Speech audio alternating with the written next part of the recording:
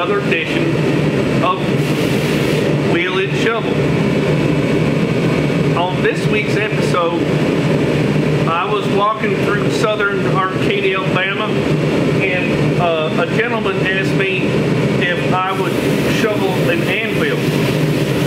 Um, so I brought in um, Andy to come in and, and shovel uh, for me. Hi, Andy. Hold this can one fast. What you want me to do? Will you shovel uh, the anvil?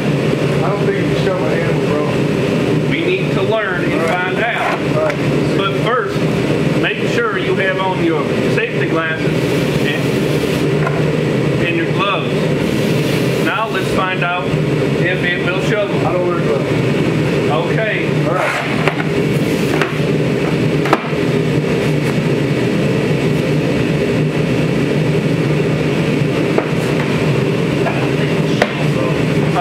No. You know what I think about the shoveling with this? What's that? Looks like we're shoveling horse poop really